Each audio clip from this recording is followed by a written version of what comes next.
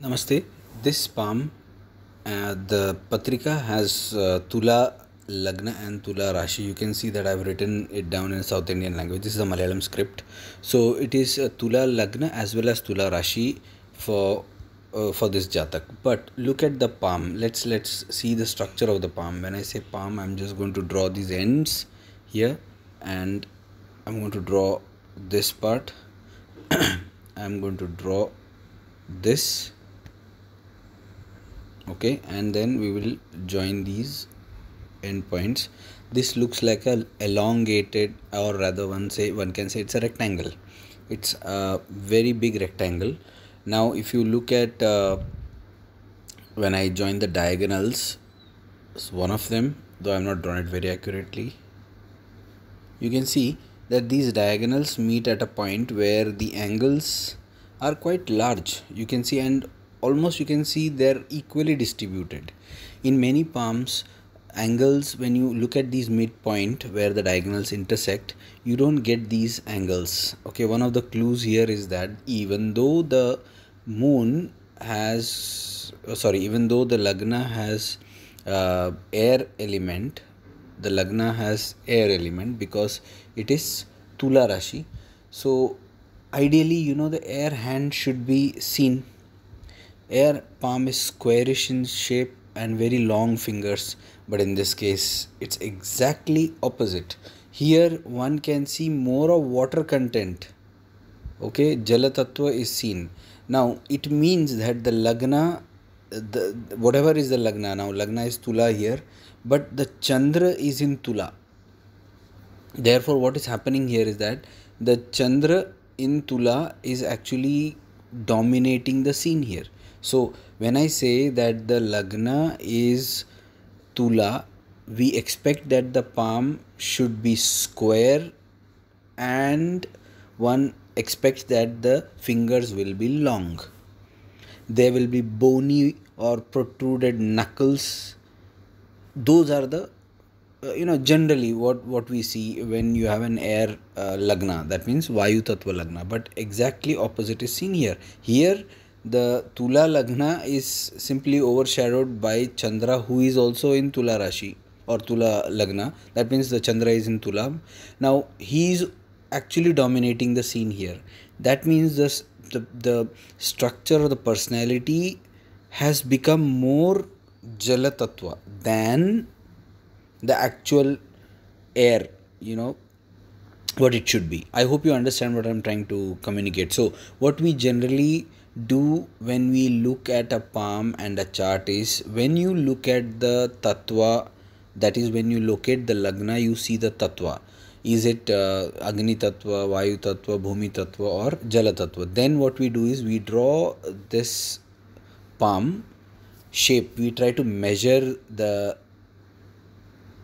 width the length the diagonal length I am sure most of the palms will not be exactly rectangular. You can see that at this point it is sometimes inside and this is outside exterior. So you have to, you may not get a very regular rectangle which you are used to seeing uh, in daily life. You will get a slightly, you know, distorted rectangle.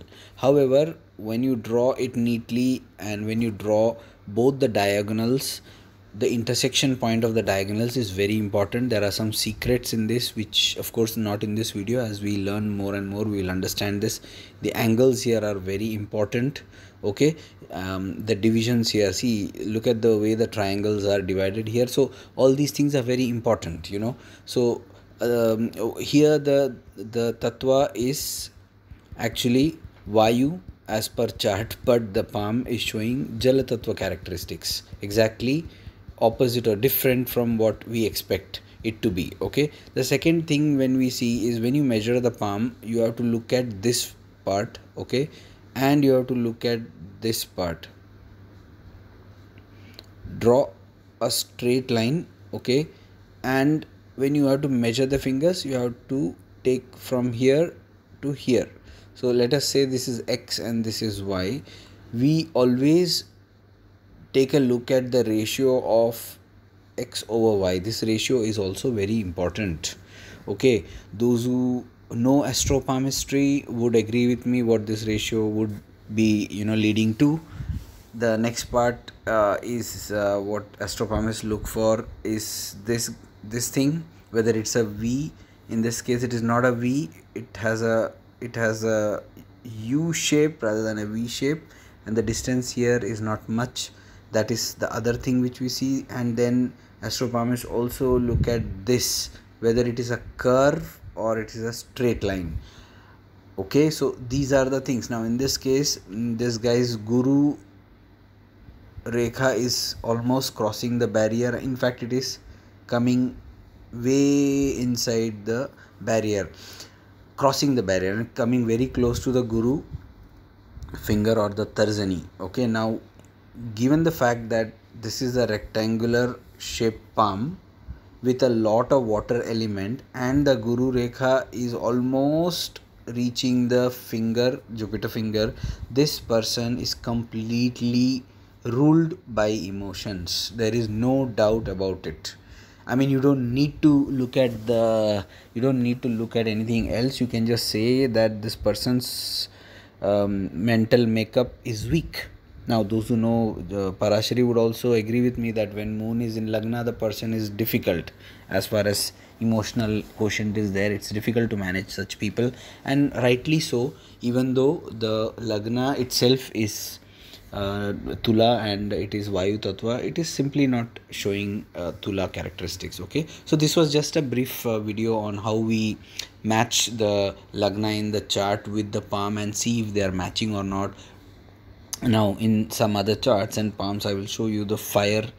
In fact, in, in some palms and charts where the Lagna is, let's say, Agni Tattva or let's say Simha Lagna, okay, but the palm exactly has uh, uh, exactly matches, you know, the palm structure exactly matches what is the Lagna. Such people are generally, you know, extraordinary people because why their chart and their palm character, you know, the, the the the structure matches. It's a very good thing to have, especially when it. Uh, comes to fire palms and fire lagna. If the palms match that's a very good thing right? So i'm, I'm just giving you some uh, things which we generally see and these are not in any of the books. This is from practical astropalmistry point of view how we do the analysis. So this is uh, one way of looking and comparing. Thank you